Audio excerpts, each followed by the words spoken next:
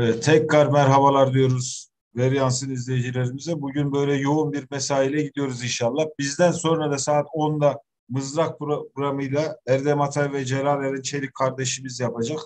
Onlar da burada sıra bekliyor. Hadi abi yürü git de işimize bakalım diye. Şimdi ünlü ünlü deyim ya da çok birikimli yıllarını tiyatroya vermiş çok değerli bir büyüğümüzle tanışacağız. Haydar Zorlu abimizle. Bize tiyatroyu, tiyatrodan öznel bir oyun olan, yıllarca oynadığı, Göte'nin Faust, bilmiyorum birebir birebir yansıması mı yoksa Türkçe'ye çevrilmiş hali mi onları anlatacak. İlk önce bir Haydar Zorlu'yu bir tanım. Abi hoş geldin. Hoş bulduk. Şirince'den sevgiler. Evet abicim bize bir anlat bakalım. Haydar Zorlu ne yapar? Nerede doğdu? Nerede büyüdü? Sanat hikayesini, hayat hikayesini bir özet bir aktarabilirsen abi bize. 1967 e, Bingöl Dağı'nda Mikel Köyü'nde doğdum. İlkokul birinci sınıfı Bayburt'ta, ikinci sınıfı köyde, üçüncü sınıf Hamburg, dördüncü sınıf tekrar Elazığ, sonra Mersin iki yıl. Ondan sonra 32 yılımı Köln'de geçirdim. Köln'de ortaokul, lise, üniversite. Üniversite bitirdikten sonra e, dizilerde oynadım. Tiyatroda uzun yıllar çalıştım ve Faust projemde İstanbul'a geldim. Şimdi 32 on... yıl Almanya serüveninden sonra Türkiye'ye döndük. Doğru mudur Haydar abi? Evet, ama ben doğuştan hem burada hem orada yani hiçbir zaman şeyi... Bir ayağımız hep buradaydı. Şu anda arada bir Almanya'ya gidip e, geliyorum. Köln Üniversitesi'nde önce hukuk okudum. Sonra iki yıl sonra kesinlikle politikaya girmemeye karar verdim. Ve fakülteyi değiştirdim. Felsefe fakültesinde yazılıp e, Germanistik yani Almanca Alman edebi, e, dil ve edebiyatını okudum. Faust'u yapabilmek için. İspanyolca, romanistik e, dil ve edebiyatını okudum. Don Juan'ı ortaya çıkardım. E, bu iki e, projeyle e, İstanbul'a gelip sanat odasını kurdum. İlk Türk ve Alman tiyatrosu. İstanbul'da en çok oynanan oynanan oyunlardan biri oldu Faust. Yani toplam 289 kez oynadık. 35 bin izleyicimiz oldu. Hiçbir teşvik, hiçbir destek olmadan. Yani e, duyan geliyor. Mesela İlber Hoca'ya söyledim. Hocam e, Faust oynuyorum gelir misiniz? Nasıl ya Faust mu oynanıyor burada? Hemen telefon numarasını söyledi. Geldi köşesine yazdı. Veya o zamanki belediye başkanı Beyoğlu'nun Ahmet e, Misbah Demircan. Faust oynuyorum başkanım gelir misiniz? Tamam geleyim. E, ama sizden yardım isteyeceğim dedim. E, oyun hoşuma giderse yardım edeceğim. Geldi, izledi. Sonra Muammer Karaca tiyatrosunu verdi ve orada e, kapalı gişe oynadık. Yani her oyuna 400'den fazla seyirci geliyordu. Son oyun Faust oldu Muammer Karaca tiyatrosunda. 2012'de e, ve kapandı. Yani çok başarılı, çok güzel bir tiyatroyu birdenbire kapattılar. Yani Gerekçe neydi hocam? Güya deprem açısından sorun filan varmış da hikaye tabii. Yani şöyle diyeyim 50 yıllardan beri e, uzun yıllar emek verilmiş çok güzel bir tiyatro ortaya çıkmış. Şöyle e, her gün bir buçuk iki milyon kişi Muammer Karaca'nın önden geçiyor İstiklal Caddesi'nden. Afişi görünce 400, e, 400 kişi bilet alıyor. Genco Erkal'ın oyunları var. Başka e, yani benim gibi tanınmamış e, yeni gelip orada sahne bulmuş. Hepimiz gayet güzel geçiniyorduk. Yani iyi gişe yapıyorduk. Birdenbire ekmeğimize mani oldular. Kapattılar orayı. Yani çok büyük bir darbe oldu tiyatro açısından. Çünkü öyle bir tiyatroyu 50 yıl içinde ancak öyle bir değeri oluşturabilirsin. Seyircinin ayağa alışacak. Bir takım beklentisi var. Ona göre oyunları gidip izleyecek. Yani e, Muammer Karaca tiyatrosu gittikten sonra e, benzeri bir daha başka tiyatro olmadı. Pera, Pera Palas mıydı? E, mesela yeni bir tiyatro yaptılar. E, 50 yıl sürer yani seyircinin ayağa alışıncaya kadar. Alışveriş merkezi, merkezine gidecek, bilet alacak. Veya ses tiyatrosu e, Ferhan Şensoy'un çok başarılıydı. Yani bunlar İstanbul'da tiyatronun hikayesi. Sonunda 10 yıl sonra e, Şirince'ye yerleştik. Şimdi sahne Şirince'yi kurduk burada. E, ben ve eşim Mücella ile birlikte. Burada 30 Ağustos'ta Kuvayi Milliye Destanı'nı oynayacağız her yıl. Ondan sonra da Faust, Don Juan bir de başka arkadaşlar program yaparlarsa öyle zamanla geliştireceğiz.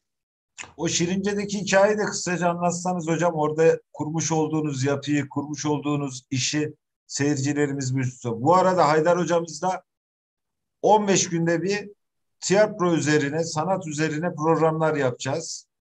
Yani önümüzdeki dönemde çok çeşitli oyunları ya da bu işin tarihini, bu işin işte Türk milletindeki yansımalarını çok daha rahat geniş geniş konuşacağız arkadaşlar. Şirince'de ne yaptık hocam? Yani orada kapattılar bir tiyatro da ama Haydar Zul durmadı. Durmadı. O azim durmadı. Ne yaptı?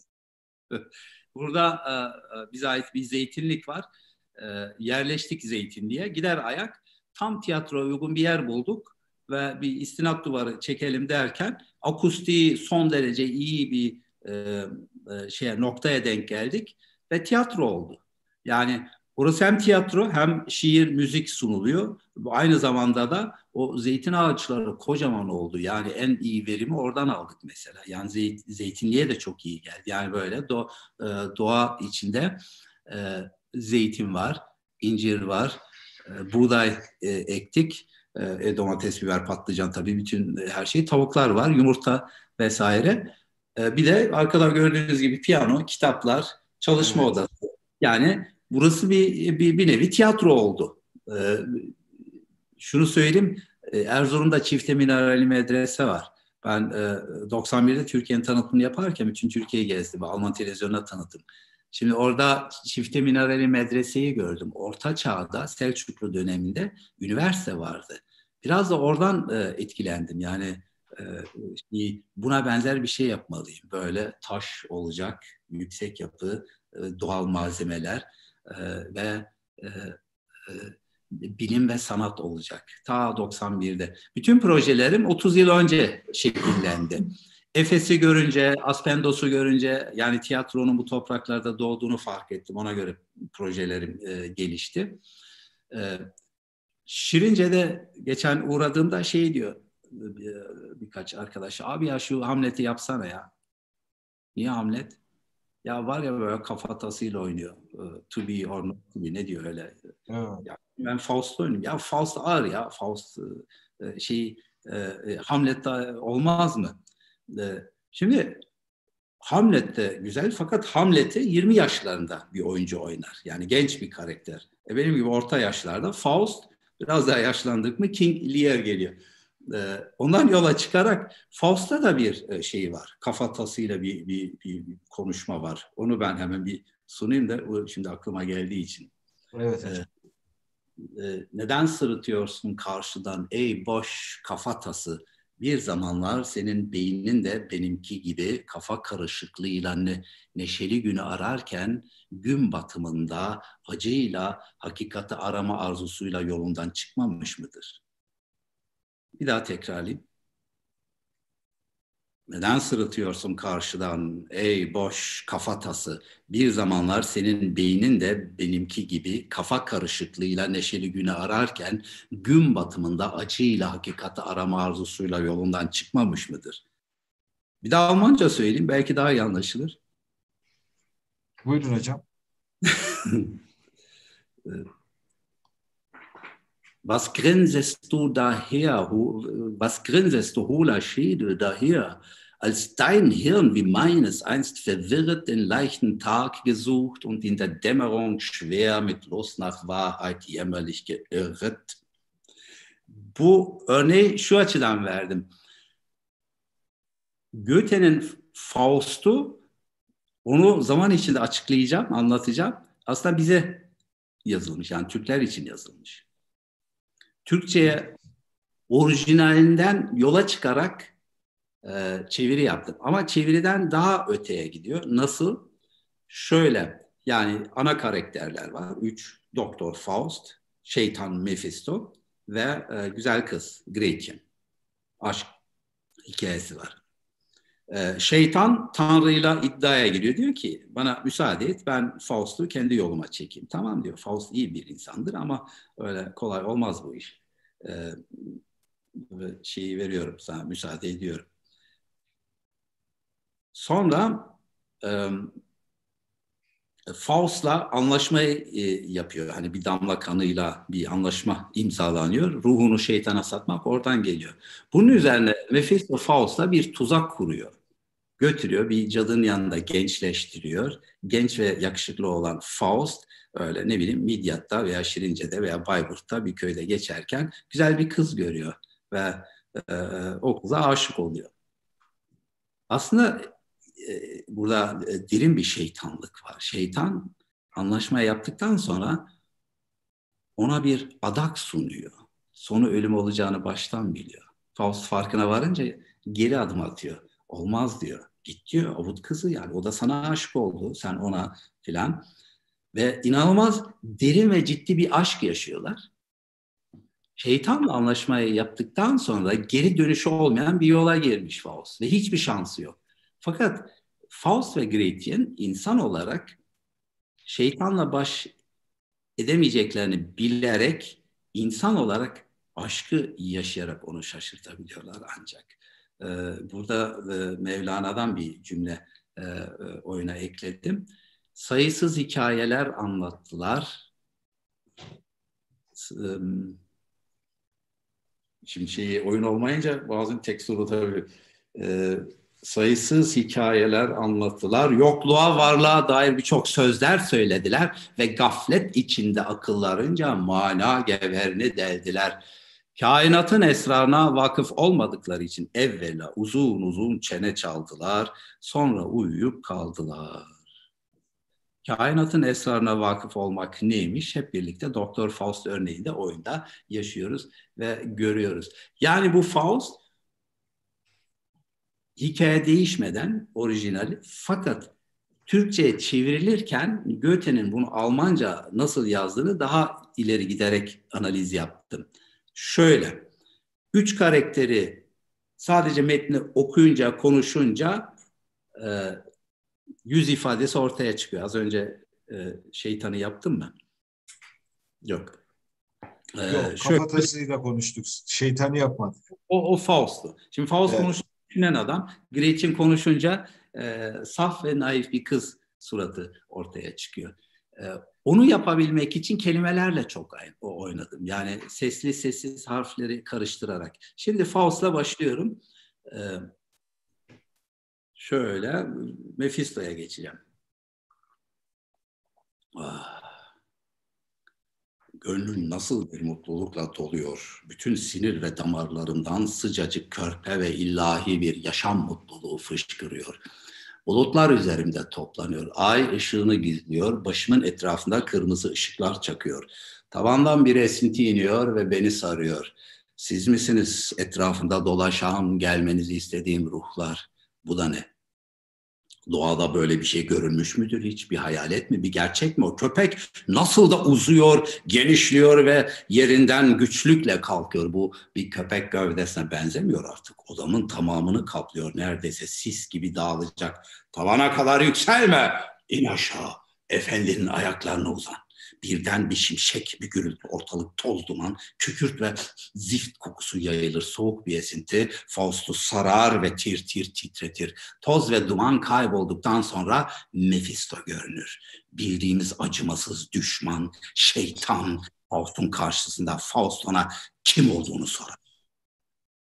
Ich bin ein Teil von jener Kraft, die stets das Böse will und stets das Gute schafft. Kraft, şaft, kraft bir güç var. Sürekli kötülük istemesine karşın sürekli iyilik yaratan o gücün bir parçasıyım. Hep inkar eden o ruhum ben. Bunda da haklıyım. Çünkü yaratılan her şey, her varlık yerin dibine girmeye layıktır. Bu yüzden hiçbir şey yaratılmasa daha iyi olurdu. İşte sizin günah yıkıcılık, kısaca kötülük dediğiniz şeyler benim asıl ana maddemdir. Ben bir parçanın parçasıyım. Başlangıçta her şey olan, ışığı doğurmuş olan o karanlığın bir parçasıyım. O gururlu ışık ki kendisini doğurmuş olan annesi karanlığın elinden yerini ve uzayını almak ister ama yapamaz. Binen Der anfangs alles war, ein Teil der Finsternis, die sich das Licht gebar, das stolze Licht, das von der Mutter Nacht den alten Rang, den Raum ihr Streit macht. Und doch gelingt es ihm nicht, dass so viele strebt, verhaftet an den Körperankleid, von Körpern strömt, die Körper macht es schön, ein Körper ernst aus seinem Gange, so hoffe ich, dauert das nicht lange und mit den Körpern wird zugrunde gehen. Yokluğun karşısına çıkan bu dangalar dünyaya, savaşlar, hastalıklar, depremler, yangınlarla giriştim. Yine de etkileyemedim. Sonunda kara ve deniz yerinde duruyor hele uğursuz hayvan ve soyu yok mu? Ona hiçbir şey yapılamıyor. Ne kadarını toprağa gömdüm, gömdüm. Yine de yine taze bir kan devredip duruyor bu böyle sürerse. Çıldıracağım. Havadan, sudan, topraktan fışkıran sayısız yeni tohum kurakta, nemde, sıcakta, soğukta bile yeşeriyor. Eğer ateşi kendime gizlememiş olsaydım ben de güzel hiçbir şey kalmayacaktı. Burada İlber Hoca'nın da dediği gibi müzikali. Büyürendim hocam ya. Büyürendim. Vallahi billahi var ya kitlendim yani. Sizdeki şu yeteneğin yarısının yarısı bende olsun. Türkiye'de üç ayda iktidar alırım vallahi. Şu Oynar. konuşma, şu akıcılık inanılmaz bir yer. Buyurun Bu- hocam. Yani şimdi e, dolaylı yani şey iki boyutlu sahnede olunca 90 dakikada inanılmaz yoğun bir oyun. Ve onu Türkçe'ye kazandırdım. Yani e, ım, şimdi oynarken e, yaşadığım ve seyircinin aldığı o kadar çok şey var ki şimdi 35 bin kişi izlediler. Çok etkilenenler e, oldu. Bu, bir e, oyun analizi de geldi.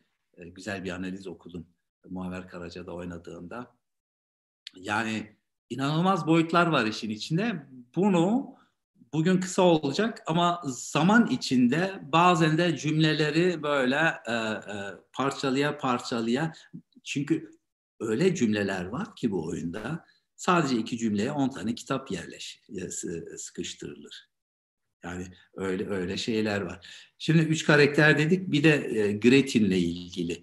Yani bu sadece çeviri değil. Bu Türkçe bir oyun. Evet. Ve Türkçeyi tiyatro adına Goethe'den öğrendim bunu. Ee, Onun için Faust önemli. Yani Faust sadece e, güzel cümleler veya karakterler e, veya hikaye değil. E, dilin müzikalitesi var. Dediğim gibi konuşurken karakterler e, belli oluyor. Kendiliğinden orta. O sa- yani sade bir şekilde konuşuyor. Şimdi Gretchen'e gelelim. Kız mesela konuştuğunda gitti artık kalmadı huzurum. Yüreğimi taşıyamıyorum. Bulamam onu daha. Onsuz bir yer mezar olur bana. Bütün bu dünya eğer o yoksa yanımda yaşanmaz daha. Zavallı başım dönmüş çılgına. Zavallı aklım paramparça. Gitti artık kalmadı huzurum. Yüreğimi taşıyamıyorum. Bulamam onu daha. Penceremi ona bakmak için açarım. Yalnız onu bulmak için evden çıkarım. Soylu duruşu, uzunca boyu, dudaklarının gülüşü, sözlerinin büyüsü, gözlerinin tılsımı, ellerinin dokunuş hele bir de öpüşü. Gitti artık kalmadı huzurum. Yüreğimi taşıyamıyorum, bulamam onu daha. Gönlüm hep koşar ona doğru. Keşke bir yakalasam, tutsam iyice. Öpsem onu, istediğim gibi öpsem. Onun öpüşleriyle yıkılıp gitsem.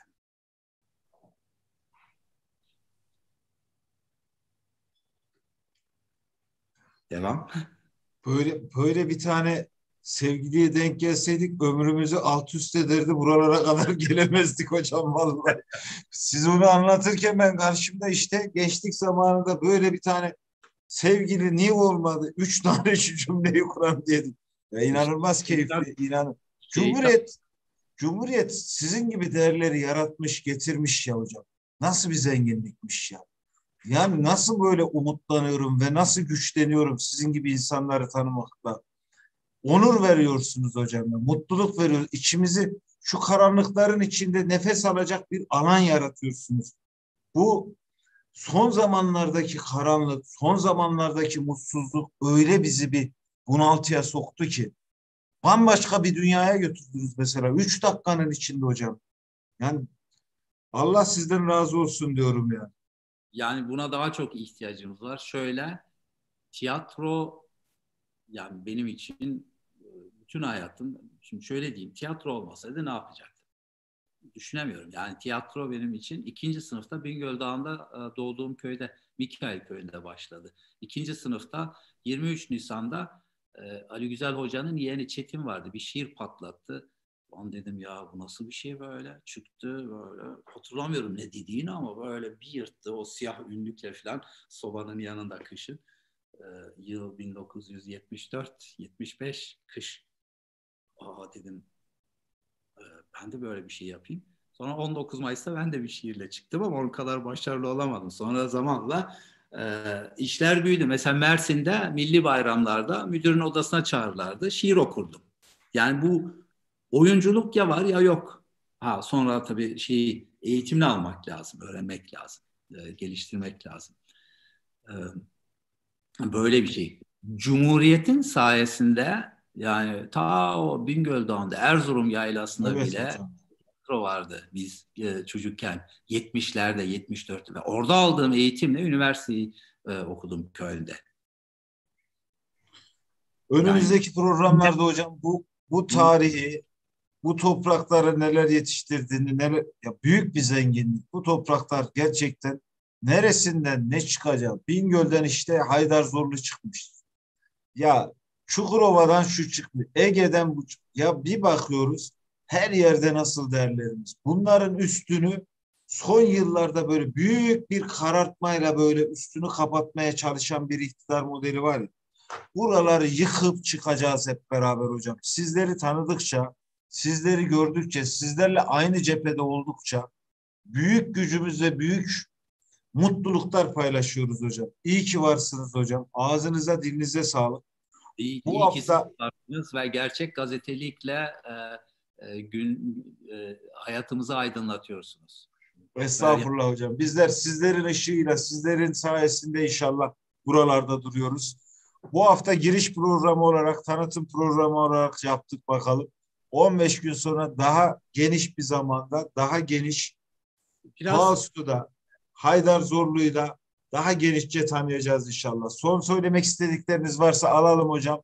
Erdem'le Celal buradan bana pres yapıyorlar. Tamam. Ee, çok selamlar, sevgiler. Çok şey güzel programlar yapıyor Celal Bey, Erdem hocamla.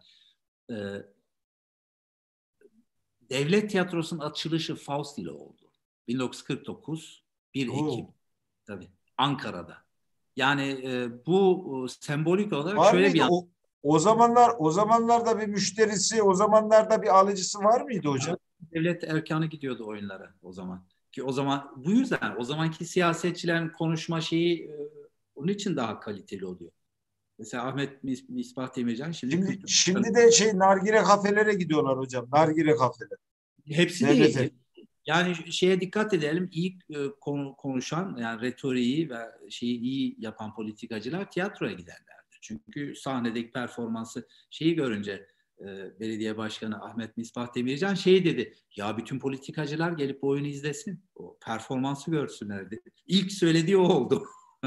ve tabii ki etkiler. Yani bütün dünyada e, politikacılar tiyatroya gidip o dil nasıl kullanılıyor? Yani Türkçe, şu az önceki karakterlerde yansıtıldığı evet. gibi veya e, şimdi Kuvayi Milliye Destanı'na geleceğiz. Nazım Hikmet'in evet. yazdığı evet. şey.